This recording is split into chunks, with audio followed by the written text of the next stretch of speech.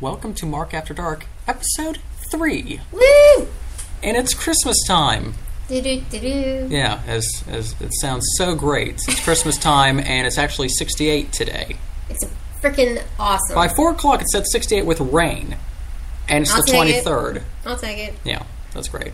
So we're going to talk about Christmas things, mostly songs and movies. Things we're kind of addicted to at this point, especially 97.3, where it's all that Christmas music. And then Christmas movies on Hallmark, and I think that's it.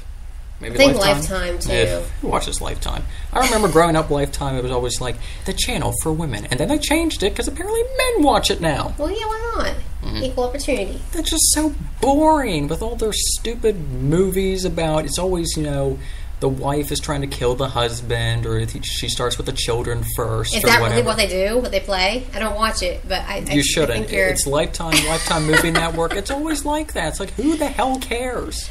Anywho, all right. Favorite Christmas song? Go. Um, well, the the people I like, I like Bing Crosby. You know, he he was a uh, he beat his kids or something. That's okay. Bing Crosby, good person. Dean Martin, we gotta love Frank Sinatra. Um, favorite, it has to be the Christmas Canon uh, by the Trans Siberian Orchestra. Ugh, What? I don't like them. Why? I think it's lame. Okay. Uh, what was the other one I, I would listen to? It was like uh, Winter in the Night or something like that, or something like that. It said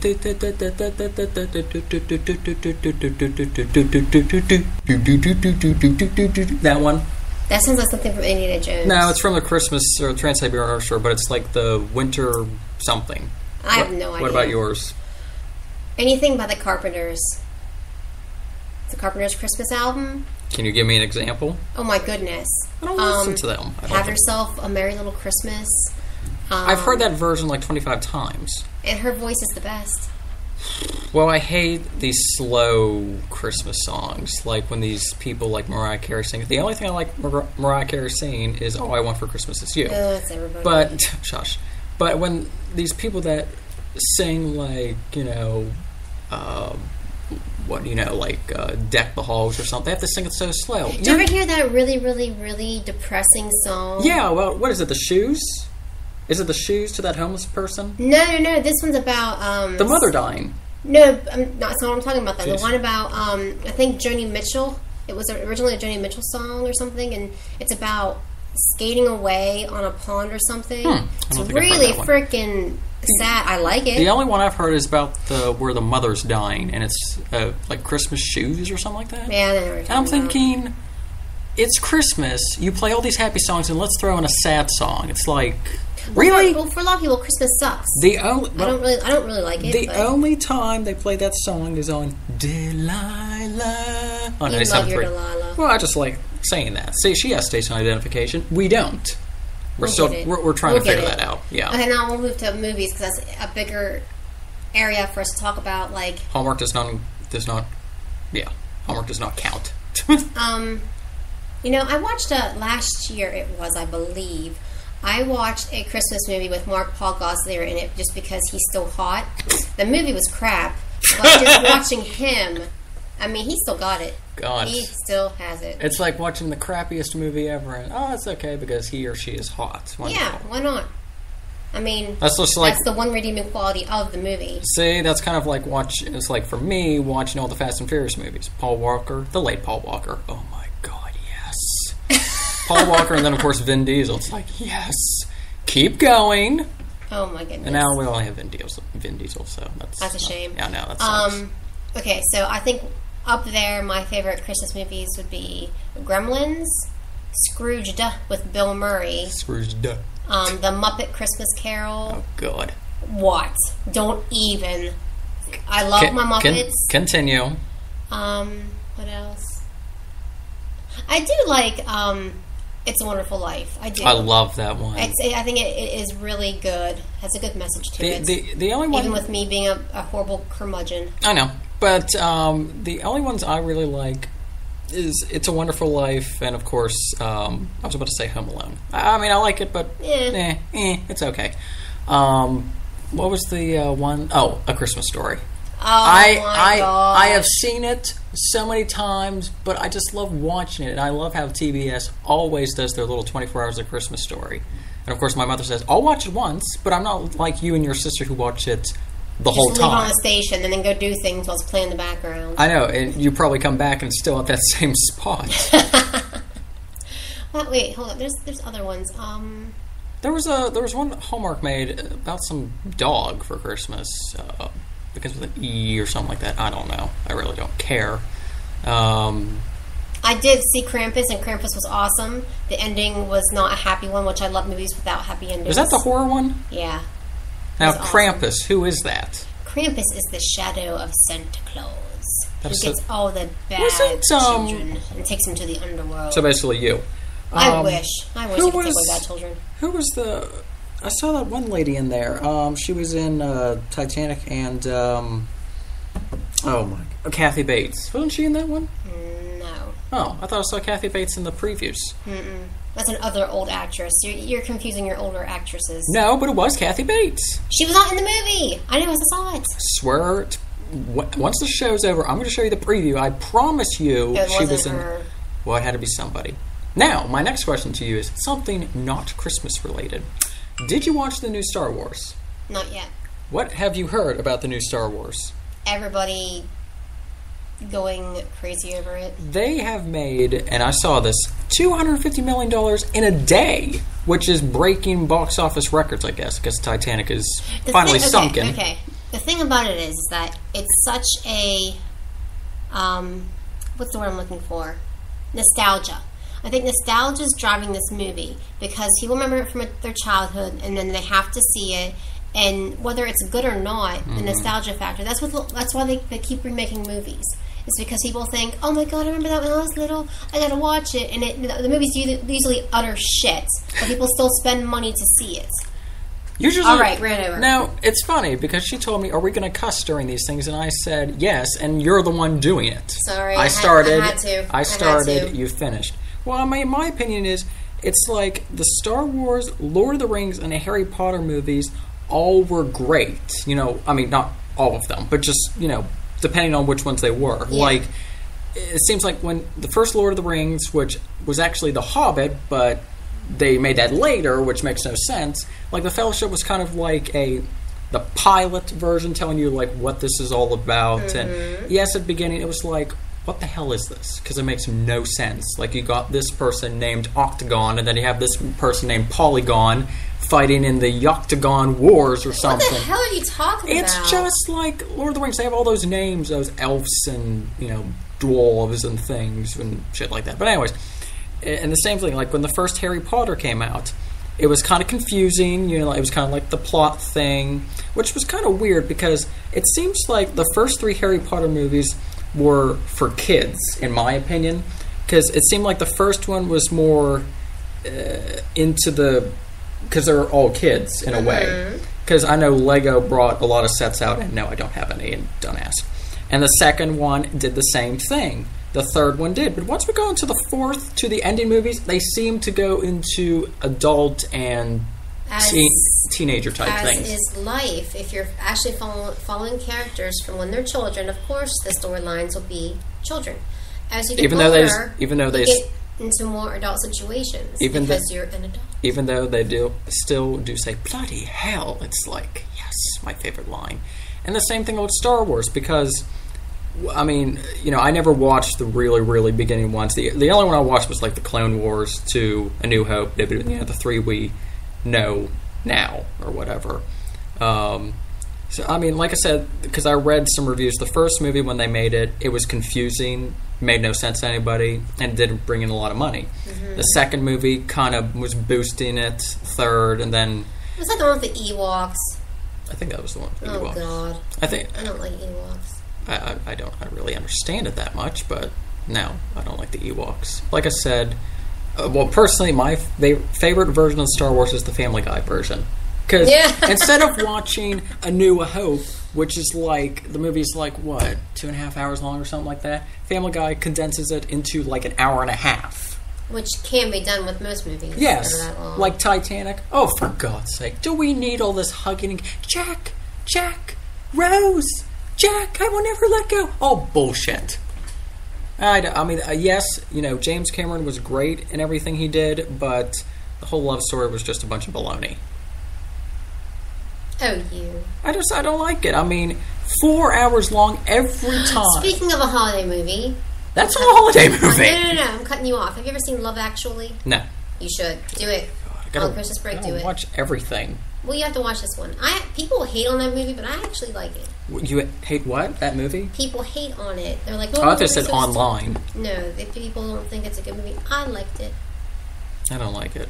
I mean, I, uh, You never seen it? I was just about to say that. I was like, I'm an asshole. I just never saw it. Um, let's see, Christmas movies. Uh, there's no Christmas TV shows, are there? like TV shows, especially just for Christmas. Yeah, Mm, Simpsons. Christmas. I haven't watched Simpsons. I haven't watched I Simpsons since like freaking 1999. I love The Simpsons. God, they make me laugh. Um, I don't know. I don't think there's anything else Christmassy. There's only there's Christmas songs, Christmas movies. What about candy or uh, cookie type things? Well, try- I make cookies every year, and And I try not to eat them because I don't want to eat all that sugar and nastiness. But I give them away. Mm-hmm. Well, what do you make? I make awesome stuff. Um, Well, that so- doesn't help. I'm, I'm going to go into it. Okay, so this year, one of the things I'm making are brownie filled, no, brownie cupcakes filled with stuff. So you get a cupcake pan, you line it, you pour a little bit of brownie batter in the bottom, and then I'm putting this, I'm not going to say what because it's my own creation. I'm not putting it on for everybody to, to copy. To get the secret ingredient, please call. and put something in there. Actually, you can, you can improvise, do whatever you want, and then pour pour more brownie batter over top of that. Put it in the oven, and boom, you got stuffed in these brownie cupcakes, and it's gonna be awesome. My mother has already made snickerdoodles, which I like. I, Snickerdoodles are good. I mean, I like them when they're soft, not hard. It just, just doesn't work. I don't like crunchy things. Um, she made their uh, they're popular. You get a Hershey's Kiss, but you make a peanut butter cookie and put the kiss in the middle. Yeah, You know those things. She made her. Um, uh, they're like Christmas trees. They're pressed cookies, Christmas trees, and then she puts the little, um, like these sprinkles, not sprinkles. Um, sugar. they're like beads, Oh, edible things. yeah. I don't know, but she's done them plain or with the beads or really anything like that. That's really the only thing she makes that's Christmassy in a way. So, what did you ask for Christmas, Mark? oh God, What did you ask Santa? boyfriend. Your wish shall be granted. yeah, that hasn't happened in let's say a year. Aw, well, that's because you won't leave your house. I do leave my house. Thank you for telling the people of Spreaker, by the way, that I do not leave my house. Oh, I know, I know you leave your house. I'm saying, like, you need to get out there, get into the oh, mix, Oh, Christ. get, go to a bar. I Be a don't. nice man. I'm 20. I'll soon be 21 in February. That's, I'm saying on your birthday, you need to go out. I want a hot tub. I just want to go outside. That just that no, No. that's gonna make the creeps come. no, I mean, I live in the country, cold outside, it's snowing, and a hot tub at a cool temperature of 105, sitting there in my bath or in my hot tub, showing the world my beautiful body or whatever. Are you trying to attract people that way? Yes, uh, if you'd like to hit it's- me up, please uh, follow me on Spreaker. Uh, yeah, but it's just so nice because I did that with my ex one time. We uh, went to Ohio, uh, Hocking Hills, I believe. Okay. Uh, that's near. Uh, Do they have caves there? yeah, they do. But we never went to the caves. We just stayed at the cabin for March Madness and romantic, passionate love. Anyways, Okay. tonight's episode will be brought to you by Talk Sex with Sue Johanson. um, and there was a hot tub there, and of course, since it was a public hot tub, basically, I mean, there was Oh, you have to be careful about this. well, no, no, I mean, it was just one cabin. There was nobody around us, but since it was a public hot tub, they said, you know, you have to shower first for all the dead skin cells. You know, people don't do that. Well, we did just because we're safe. And that hot tub, oh my god, it was the best. But the one that we went to in Petersburg, since we were exploring Seneca Rocks, Dolly Sods, and all that other happy stuff, this one, How come I never met this guy. uh, I don't know. Anyways, this hot tub had, uh, you know, the same temperature thing, but it also had like a light thing going on, like the lights would change colors or whatever. That's kind of neat. I know it was like you know the water then was like pink, blue, and so the lights and everything. I was like, yes. I don't know why you never met the guy, because he's discreet in a way. Is, is he not out? Well, No, yes. no, well, okay, it's like yes. okay. It's like yes and no. Plus, she's like thirty-three. So, Okay. age ain't nothing but a number. I know. I try explaining that to my mother because she said to me one time, "Oh, you like older guys?" It's like, "Yep, I'm interested Hey, in." older guys usually have more money. These broke ass little 20 year olds. Thank you you. included. I'm not broke. I got money. Older people with bigger things, like a bigger wallet, or a bigger car, a bigger orgasm. A Christmas time we always remember. And before we go, I'd like to finish up one thing. Okay. Is there any percent, or any percent, is there any chance any of us will be getting a kiss on Christmas? I will. I won't. Kiss your cat. Yes, uh, that's legal in Marshall County, Preston County, and Boone County. Mostly West Virginia, not up north. But yes, Marshall County, it's legal. Animals, people, brothers, sisters. If you live in Marshall County, you should know these things. And if you don't, come visit it. It's a great county. Filled with tagline. filled filled with trailer parks and a big hole in the DMV Want to kiss drive-through. your cousin? Visit Marshall County, Yes. West Virginia. or go to Preston. And uh, what was it? No, I think it was Wetzel. They said animals, or it's Tyler County. One. Gosh, that's disgusting. I know. Anyway, what were you saying? I just said, well, anybody, you know, be getting kissed under the mistletoe or anything like that. Obviously, in our house, we don't have a mistletoe. We just have a Christmas tree and all that uh, Christmas, as I would say, paraphernalia. But we don't. Are you, are you like dropping hints or something? Do you want someone to to do that? Well, it'd be nice, but I don't think Aw. I don't think that's going to happen, So I should kiss your cat. Jordan. Um, but you know, like I said, nothing I think is going to hap- happen like that. But our next show, we're going to be talking since it'll be New Year's. And we'll be talking about all the bullshit New Year's Oh, resolutions God. that we don't do. Like mine, I think was it's see, it's like New Year's resolutions are just like Lent. which you don't understand what Lent is, Lent's in the Catholic Church where you fast from eating a big meal or eating uh, small dinky meals for 40 days as well as you give up something. Like some people give up Coke or chocolate. Something that actually means something to you, not the Yes. where people are like, "Oh, I give up meat, but you still eat fish." Well, Hello, fish, is meat. No, it isn't. Yes, it is. No, it isn't.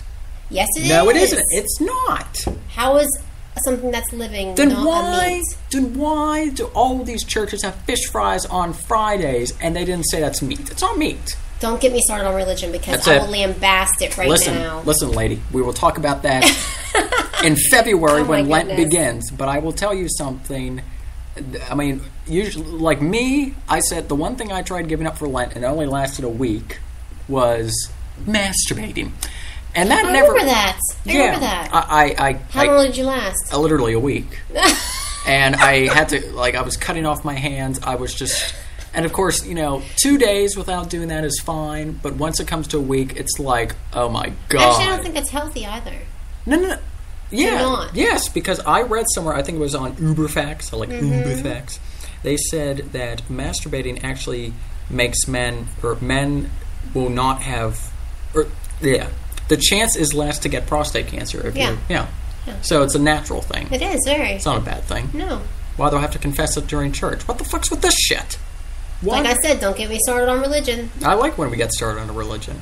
Um, yeah, so yeah, this New Year's resolution, like I'm going to lose thirty pounds, and then you gain thirty pounds. so mm, I don't know. Those New Year's resolutions, I think, are like Lent, and I think they're pointless and stupid. I think my okay, my last year one. Well, we'll talk about this next week. But- I don't even want to go. Well, we'll talk Well, hold it. on. My one thing is New Year's resolutions. It, they shouldn't be something like I am going to, you know, lose. 30, I mean, that sounds like great. You're going to lose thirty pounds, but I feel like it should be like a short-term goal and a long-term goal. Like a short-term should be like, you know, spending less or something. Well, not mm-hmm. really that. You know, losing weight or something. And the Yeah. long-term could be like spending less or, you know, budgeting my money, budgeting my time, something No, like but that. then there's more pressure. You got two of them you got to deal with.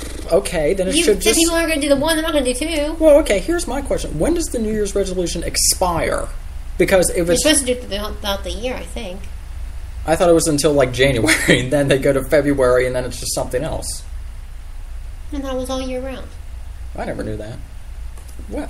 What? I know. We got ten minutes left. That's not like a Ten big. minutes. We have ten. That says ten minutes. That's nineteen minutes on air. Okay. See what that means? Ten minutes. 19 minutes. I gotta go anyway. Okay. Well, on that note, we wish you all a good Christmas. And yes, I said Christmas, even though I might offend some people, but I really don't give a shit. I'm not a butt, so happy holidays. Happy Kwanzaa. Happy Hanukkah. Oh, you're leaving. Goodbye. Oh, I, Yeah. I literally have to get Yes, I know. Put your chair on the other my chair the other side. And it's nice to know that Mark After Dark is broadcasted from my office. And no, it is not. It is not 12:28 in the morning. It's actually 12:28 p.m. But this was pre-recorded. you get up all our secrets. No, it was pre-recorded in front of a live studio audience. I'm going to have my pot pie. Actually, I don't think I'm going to have my pot pie for lunch. Are you just gonna keep rambling on that thing? No, I'm saying goodbye. Well, since our guest is gone, it's time to say goodbye. And we will see you sometime next week. And I hope you enjoy this Mark After Dark Christmas special mixed with some Star Wars and some other things that have absolutely nothing to do with Christmas. Goodbye.